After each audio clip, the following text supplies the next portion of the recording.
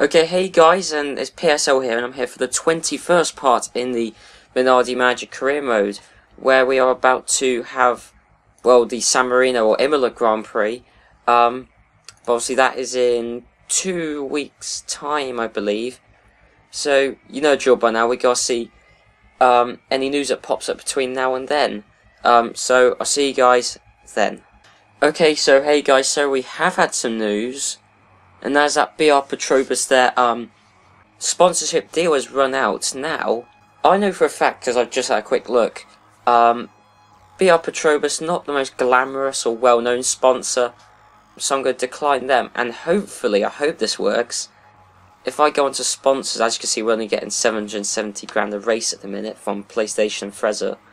But hopefully, if you look here, I had a quick look, um, and Red Bull, hopefully, well, if you look here, Red Bull's one of the glamorous sponsors um, remaining that hasn't uh, sponsored anyone yet. I mean, everyone else is just pretty... Well, Champion, now I can get Champion, but I won't be able to get Red Bull as well because it's too, um, there's not enough ad space, basically. But I would love to get Champion, because it'd be pretty cool to have Champion on the car. Um, but yeah, no, we're going to get Red Bull, because obviously Red Bull, um, when they ran their own team, well, okay, not not this season, but, um, but not too long ago, um, obviously 2010 to 2013, were pretty dominant, so hopefully we can, um, hopefully Red Bull as a sponsor can give us some of that dominance, I'm hoping. Well, just the fact that Red Bull generally on the car would look a lot better than um, BR Petrobras would on the car. So hopefully Red Bull, more glamorous sponsor, can um, get us that glamour and hopefully that domination which um, they have had when they've run an F1 team. And that was taken a long time to run to load the news. So I think it's just going to be lots of sponsorship information that comes up because normally that takes a bit longer to load um, than the standard news. Yeah, this is all sponsors. Well, hang on. AP Racing Brakes, rumour for arrows, yada yada yada. All sponsor stuff which I never really pay much attention to because at the end of the day I don't give a damn. Uh, oh no, we couldn't have had champions. They stay committed to Sauber. Uh, if I was champion, push come to shove, push come to shove, I'd rather sponsor Minardi than uh, Sauber, and that's it. And I just want to see before I cut away, because I'm sure it'll be soon when um, Red Bull reply to our email. Here we go, and yes, they are offering um to sponsor our car. I mean, same terms of 700 grand a race for 16 races. So same terms as BR Petrobras, but um, obviously, yeah. And if you look at this remaining ad space, because we may have given PlayStation extra ad space, um, there's literally only 700,000 left um, to give Red Bull. So all of our ad space is taken up, but we did give PlayStation, I believe, 140 grand free ad space. But hopefully this should make our car look good with Red Bull dressed over it. Uh, yeah, that looks right. You can hardly see it though. Now we're going to put it all down the sides of the car. I think that looks okay so far. Um, what have I done? As you see, it's going along down the bottom now. And then the big one all across the rear wing. Um, yeah, it's plastered Red Bull. Look, Red Bull there, Red Bull there, Red Bull there. And bearing in mind, think about um, our driver's overalls are covered in um Red Bull sponsorship. Yeah, we're we're heavily backed by Red Bull. It's basically Red Bull and PlayStation. I mean, what more do you need in life than Red Bull and PlayStation? So there you go. I think our car's looking pretty good, and there you go, I'll cut away to any more news as and when it comes. So, I'll see you guys then. Okay, so, hey guys, so we have got some news. It's just Arrows are going to be using AP brakes, which are the best brakes in the game. Or joint best, and I think they're using them already, so good for them, but nothing too exciting. It's just, you know, Arrows. They've got one, one good component in the car. Um, and that's that. And then, so, what's that? Uh, Petronas. I'm guessing that's Malaysian Petronas. Obviously, Mercedes sponsors. Think about sponsoring BAR. And then we got this news of Red Bull backing us. So there you go. And yeah, as I say, I'll cut to any more news as and when it comes. So I'll see you guys then.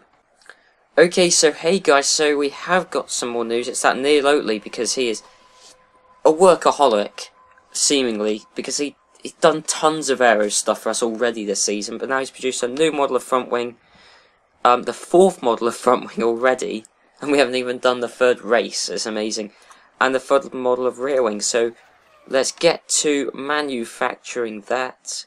Also get rid of the third model, which was rated 93 at the minute.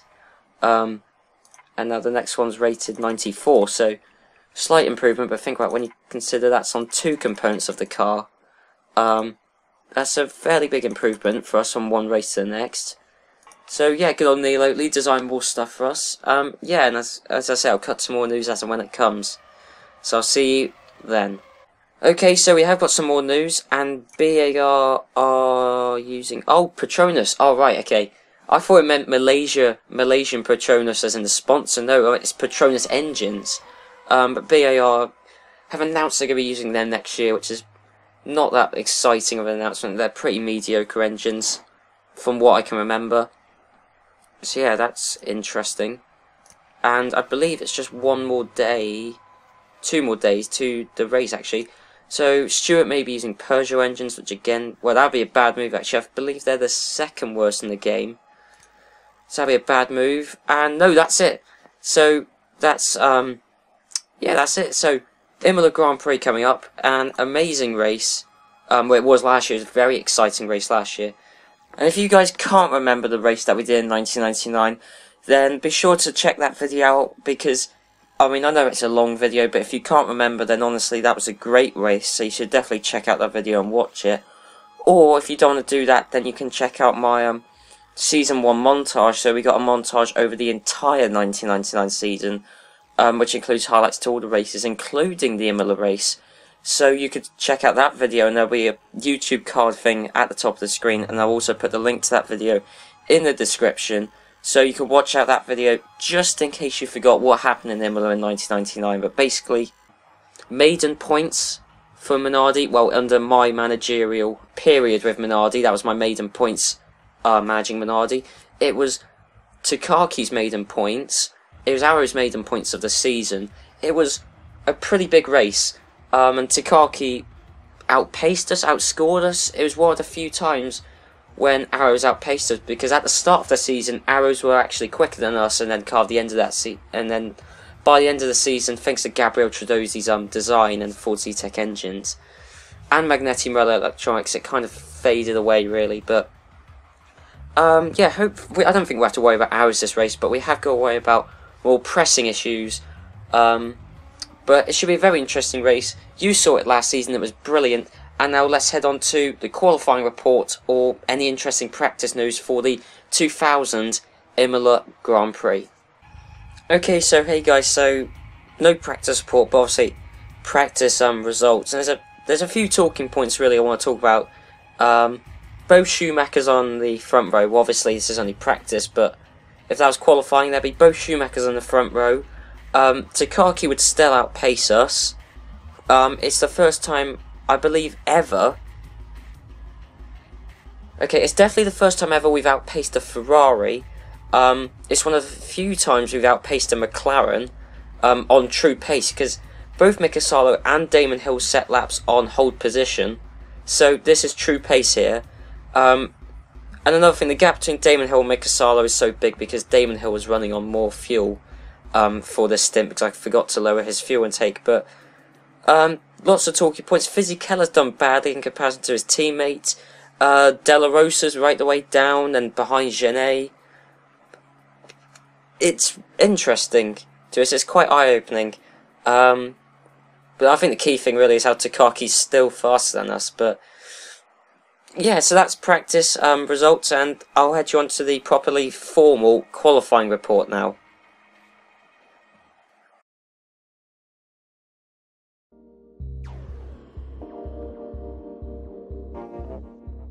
Okay, so we've just had the qualifying session for the 2000 San Marino Grand Prix, and it's just ended, so I'll take you through the results now. So, first place was Michael Schumacher in the Ferrari, and Ferrari's dominant season, and especially Michael Schumacher's dominant season, seems to be carrying on. It doesn't seem to be a fluke because this is the third race in a row where he's been completely dominant because he set a qualifying lap over 3 seconds a lap faster than the person in second place, which was Mika Salo in the Mercedes-Benz engine Minardi. And Mika Salo has done very well to get so high up the grid and has exceeded all expectations that we ever had for Minardi at the start of the season and has beaten the other dominant Ferrari, although by the much less experienced EA employee, because that is Neil McEwen and the other Ferrari, and his lack of experience and his lack of laps he did in qualifying seem acceptable excuses for his third place in qualifying, especially as he's going up against a much more experienced and a much more highly rated teammate, and so there's bound to be a massive gap. Fourth was Damon Hill and the other Minardi, who isn't quite living up to what his teammate did, with there being only four tenths of a gap between Damon Hill and Mika Salo. It's still all to play for in the inter-team battle at Minardi.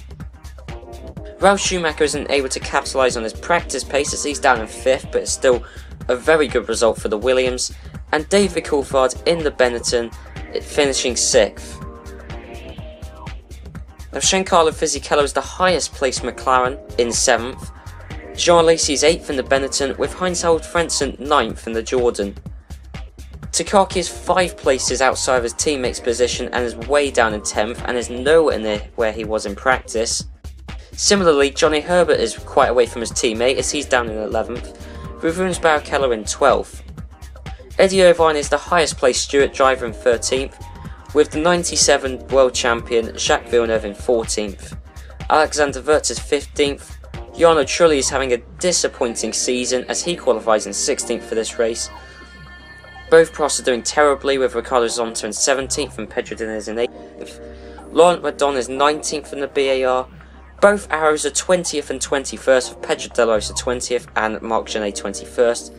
And last by quite a way, by over 4 seconds a lap, is Zanardi. And Zanardi was not very highly rated from many people last season, such as the Minardi manager Pierce Luton rules. Whereas Zanardi being the number one driver at Williams last year, and has now moved down to a much lower team with a much less highly rated teammate, but is still finishing 8 seconds a lap behind his teammate in the exact same car is atrocious for a driver like Zanardi, and this could signal the end of his career in F1.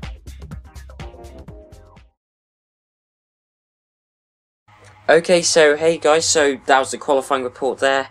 We had an amazing qualifying session, but one thing is, is that we never did practice all qualifying on the new front or rear wings, and one thing I just want to point out why is because um, while Neil Oatley designed the fourth model of front wing and rear wing, um, and we told our guys to manufacture it, they couldn't manufacture um, more parts in time, so there's still only one model of both the front wing and rear wing. So if we use it now in the race, um, our speed will be compromised because if you change the parts on the car, then it can actually change the optimum setup. So we're going to have to leave off that new front and rear wing until the next race and just refit with the same parts. I mean, obviously, just a reminder, the chassis is the thing that's letting us down badly this year because um, while the engine's highly rated and the electronics and the brakes um, are highly rated and all the best um, in their fields, the chassis, which is a Gabriel Tredozi chassis, so his, so his legacy in Minardi still lives on.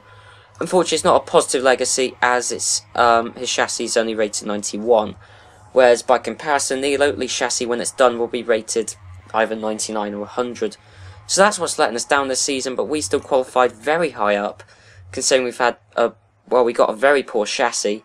Um, then we've just got the race strategy set up, um, a very high um, fuel lap. What am I saying? It needs a lot of fuel. It's um very um fuel draining. I can't I can't think of the right way to say it, but it's you know you need a lot of fuel to get around Imola apparently, according to Mike Gascoyne. Um, but yeah, that's the strategy. Mika Salo ping in a lap later. Yep. But obviously Mika Salo qualified um, higher up. So maybe we should put Damon Hill on the um, not as optimum strategy, but whatever. Mika Salo in the Red Bull PlayStation Minardi. Says he's first. That's obviously rubbish. It's just a glitcher in the game. But can he get past Michael Schumacher at the start? And there's a massive gap from um, the first grid slot to the second grid slot, seemingly. But um, coming up to the first corner, and it looks like it's been a pretty standard start. I don't think anybody actually changed positions there. Neil McEwen is still in third and is bearing down on Mika Salo, but I'm sure Mika Salo can handle the pressure of Neil McEwen. And Damon Hill, now Damon Hill is piling on the pressure onto Neil McEwen. Obviously, if we can get both Minardis in the podium, then that will be a blistering job. Unlike, um, see, last season we saw Minardi, um, we got a point, but um, Marc Gené retired out. Drive was it a driver error? I cannot remember what the time it was, but Marc Gené retired, um, and we really don't want to see a car retire, um, especially this race is. Damon Hill was did he make an overtake there? I saw that. Was that overtake on Neil McEwen? I was saying, you know, this race was um, kind to us last year.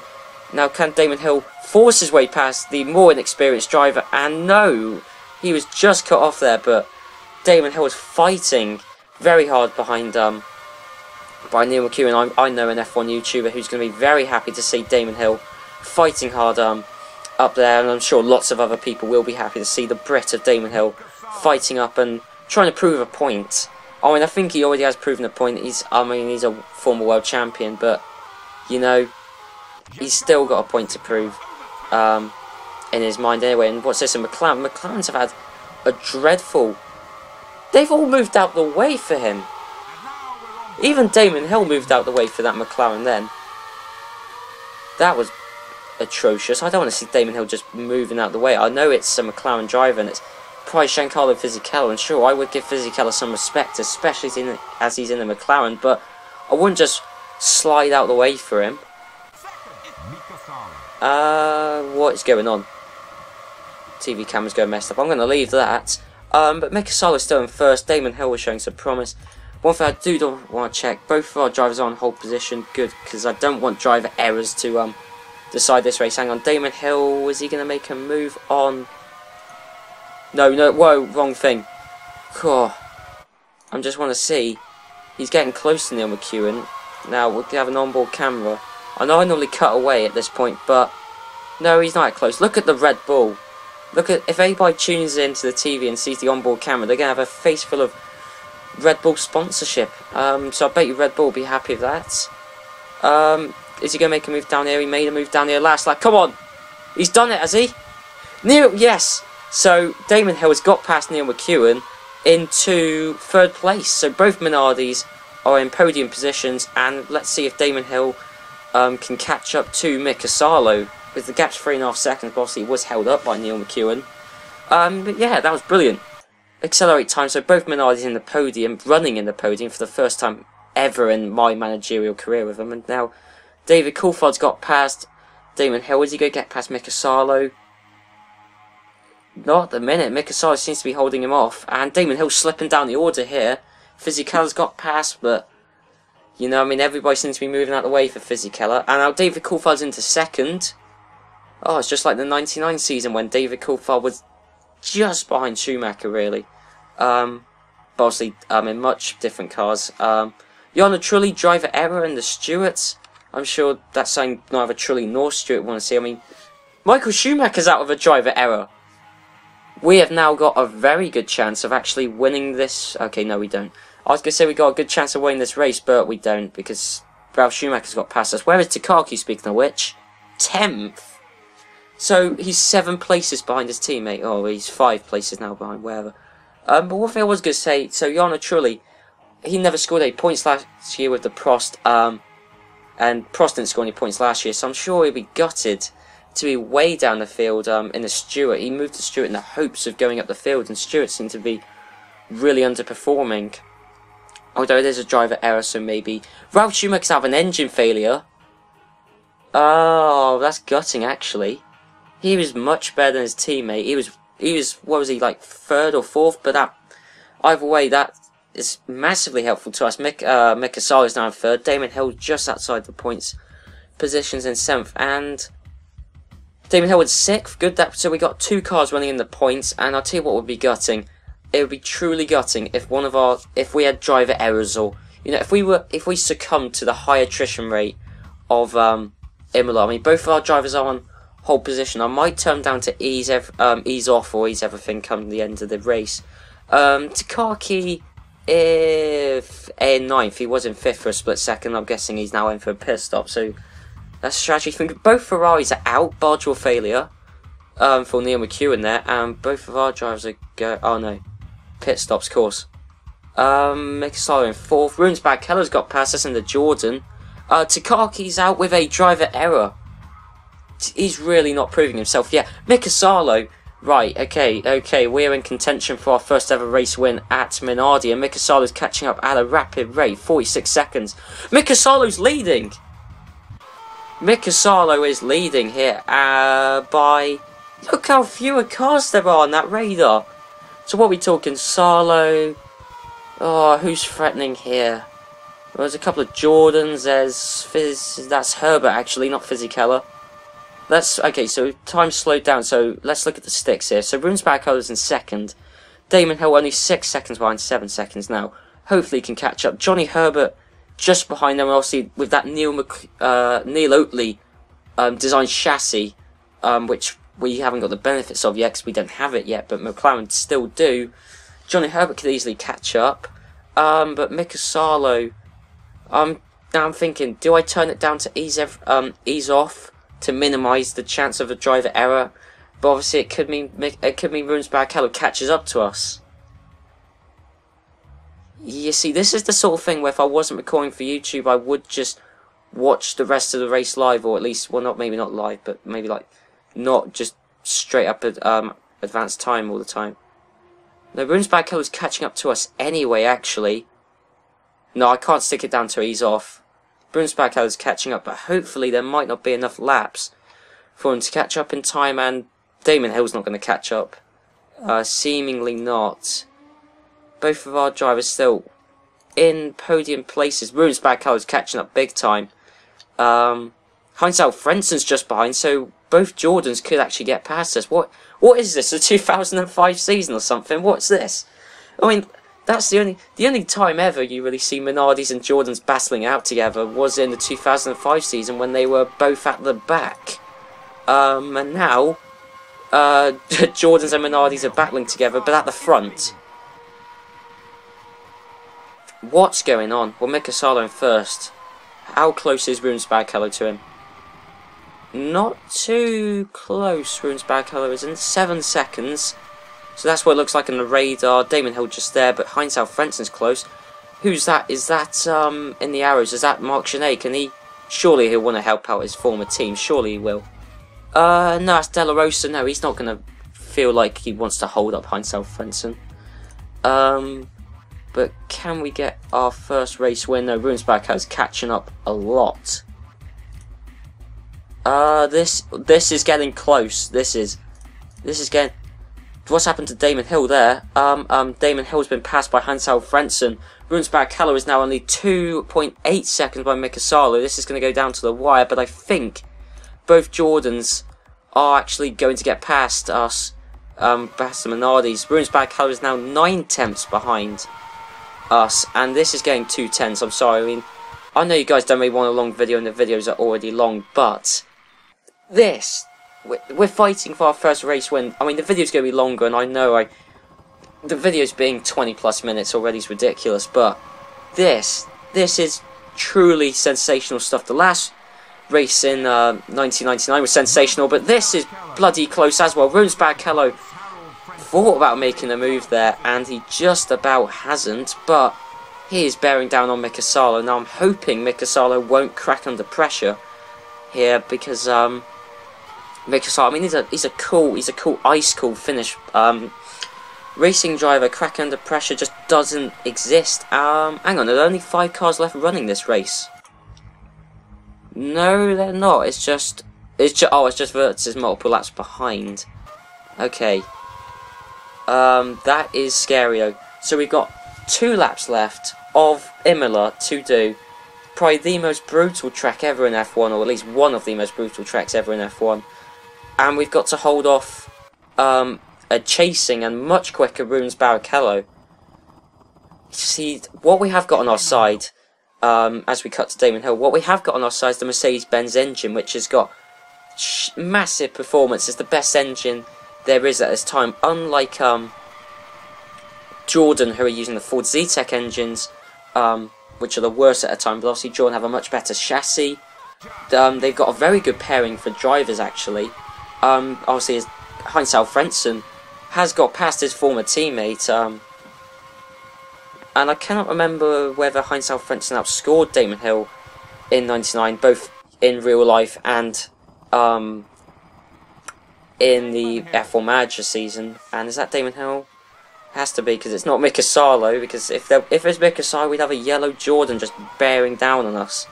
Three tenths behind Rubens Barrichello is.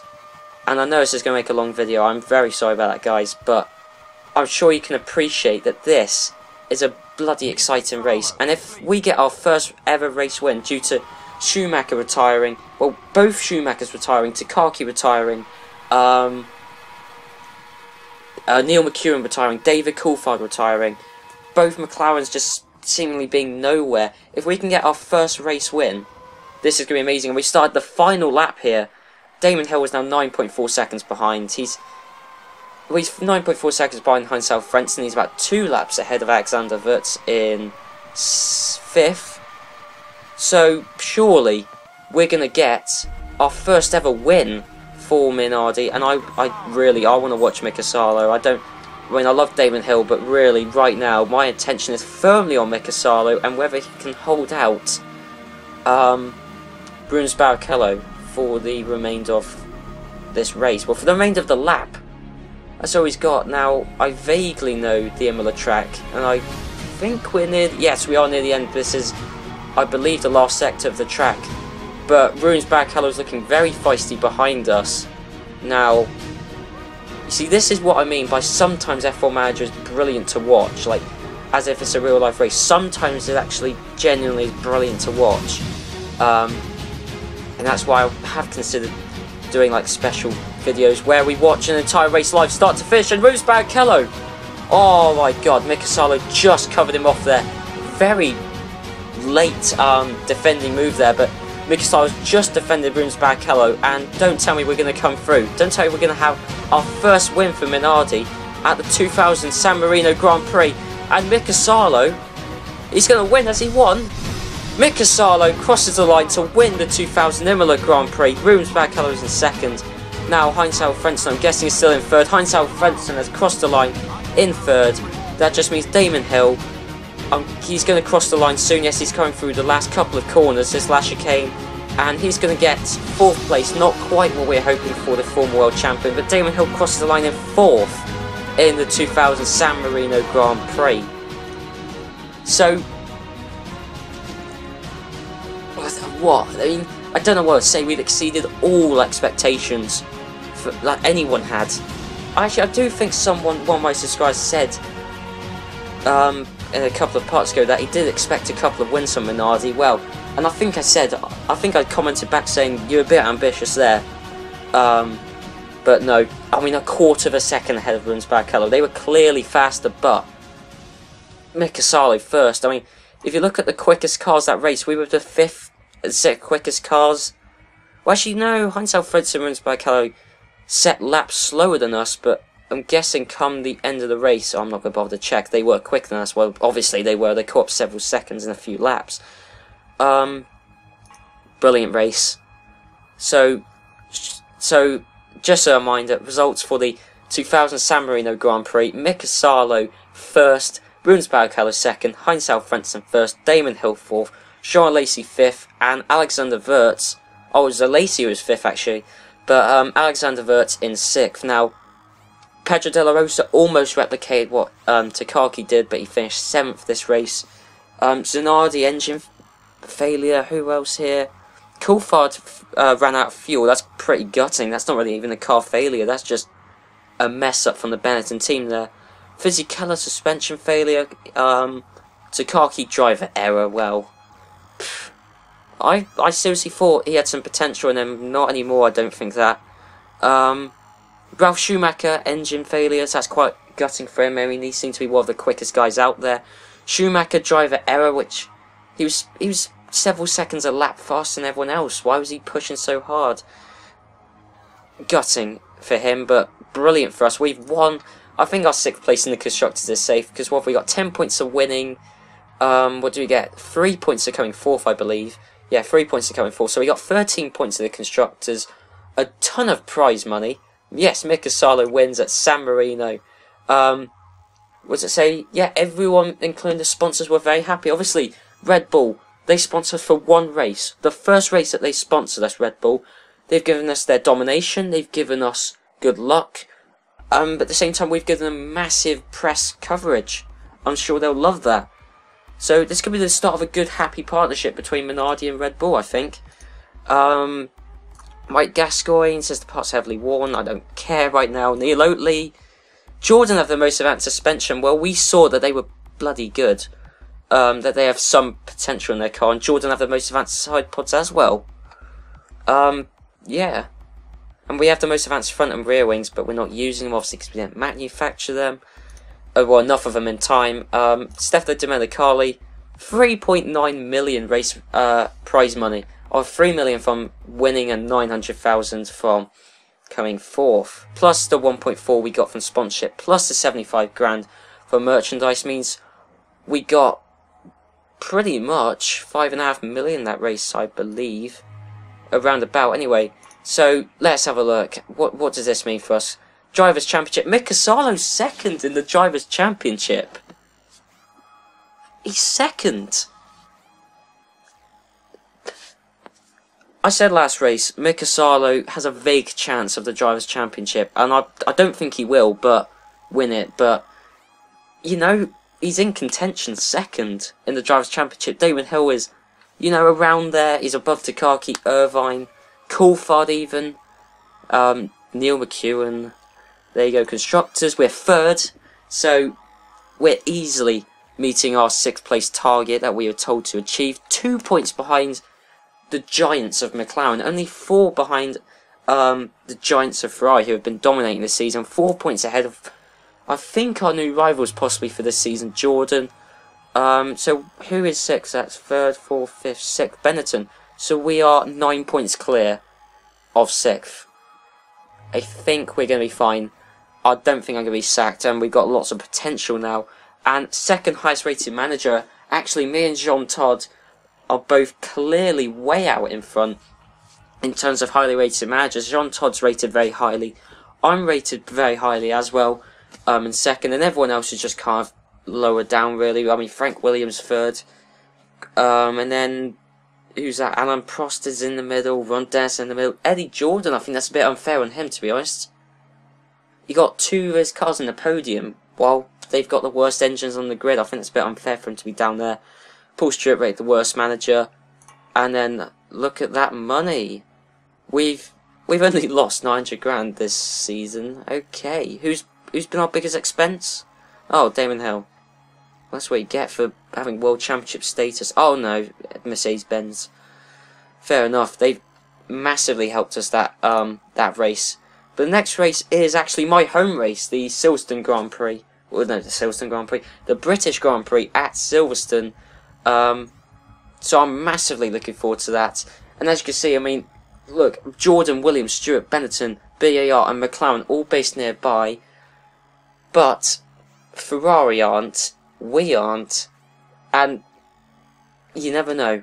We might still do alright, even though Jordan, Williams, lots of our rivals do seem to have that kind of um, knowledge of the track and possibly an advantage over us. But, you know, I suppose we kind of had the team's second home race just then because it's San Marino, which is, from what I gather, pretty much Italy. I don't really quite know what the politics are of San Marino in Italy, but it's kind of the team's second home race. Um, so yeah, I'm massively looking forward to my home race. Hopefully we can replicate the amazing performance we had this race of Mika Salo winning. And I'll see you guys for that race. Be sure to let me know down in the comments what you thought of that amazing result. Whether you think we can replicate it at the next race or at any point um, this season. And I'm massively looking forward to this season with us in third in constructors. Already it's brilliant. Um, but I'll end the video now. So I'll see you guys next time.